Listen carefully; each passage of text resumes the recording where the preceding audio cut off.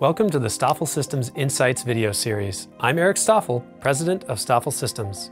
The topic of today's video is the safe operating envelope as developed by Stafl Systems. So what is a safe operating envelope of a BMS? Well, we define it to be the maximum, two things actually. It's the max charge current and max discharge current that are allowed at any given time in a battery pack. So, for example, at a specific instance, the SOE could be broadcasting an allowance of 50 amps of charge and 150 amps of discharge, for example. So what does that look like in practice? So if I draw these axes, and here is current, and this is time. And actually, I'm gonna go negative as well because I'm gonna show uh, discharge current. So we're gonna use blue for charge current. So the SOE could be broadcasting a limit like so, in terms of, say, at this level, you are allowed to charge at 10 amps. And at the same time, the SOE algorithm could be broadcasting, say, 40 amps of maximum discharge current. And this actually is increasing in this scenario because we're envisioning a scenario where the battery pack is actually charging, which means that you would have less charge allowance because you're starting to use that up while charging. So for example, I'm gonna use black to indicate what the actual current flow of the battery could look like.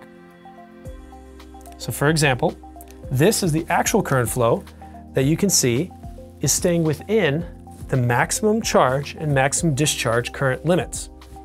And this algorithm is tuned in such a way that if the application stays within these limits, you should expect to avoid any sort of faults or safety conditions that the BMS would have to shut down for. So this allows safe and reliable operation with an easy to use, understandable envelope. So that's why we call it the safe operating envelope. So what happens if the application exceeds the safe operating envelope? So for example, what if there is an excursion of this current now that went up here? And you have this region that is actually above the safe operating envelope. Well, as implemented in our BMSs, we will actually terminate charge at this point to prevent the system from getting into an unsafe state. It is the responsibility of the application system controller to manage the current flow into and out of the battery to stay within these limits. Because if it doesn't, it has therefore exceeded the allowable limits of the battery pack, and thus the battery pack can cut itself off to maintain safe and reliable operation. So what is one of the other benefits of the state of, or the safe operating envelope? Well, I'm gonna write them out here. So the primary benefits are fault avoidance.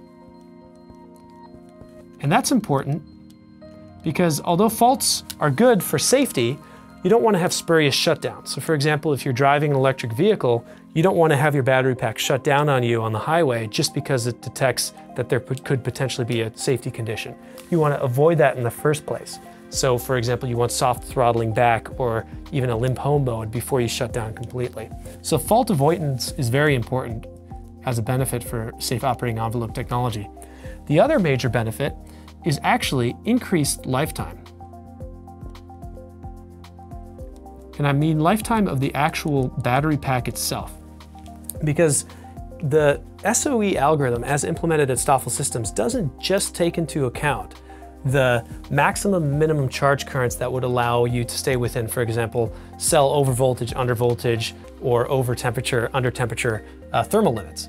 It actually also calculates what is the expected degradation that is going to occur from a given charge or discharge for a period of time in a given state of the battery and keeps it to a limit so that you can expect to see you have an expected lifetime of the battery.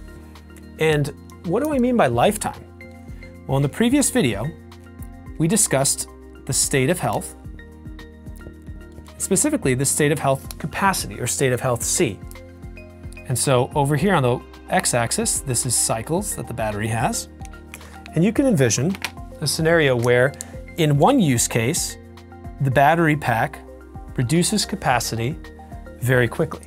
This is a very aggressive use case, which may still lie within the fault avoidance scheme, but it is being thermally stressed or electrochemically stressed in such a way that you are going to have, say, 70% state of health after, say, 500 cycles. Versus with the Stafl Systems safe operating envelope, we've optimized the algorithm to stay within a certain limit so that at the same point, you would instead expect to see a higher state of health because at given critical moments of potential damage to the battery pack, the safe operating envelope technology has limited your charge or discharge current to maintain a target cycle life. And so the primary benefits are more reliable operation within the fault avoidance scheme and increased lifetime via increased state of health capacity over a given cycle life.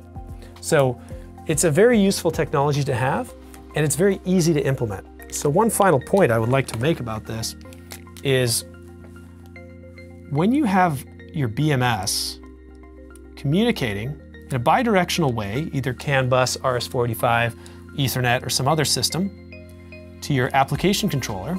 So I will say uh, this is just a general purpose controller. So the controller, for example, a motor controller an electric vehicle, a power flow controller and a stationary energy storage system, something like that, is actually the device that can command how much charge or discharge current is going into the BMS, or how much would be allowed. And the BMS now is going to be sending, okay, so you can charge at a maximum of 10 amps and you can discharge at a maximum of 40 amps.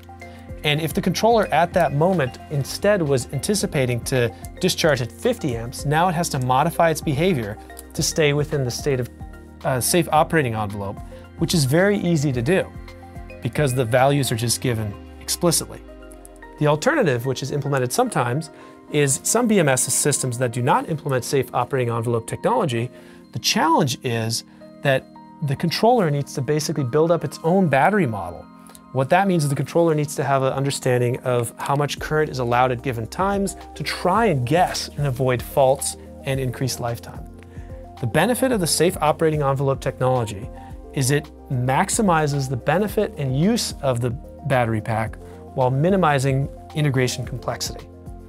So we'll talk more about these details in a future video but uh, definitely consider the benefits of SOE as you're implementing uh, your battery system and battery management system. Well, that's all for today. Thank you very much for watching. We'll see you next time.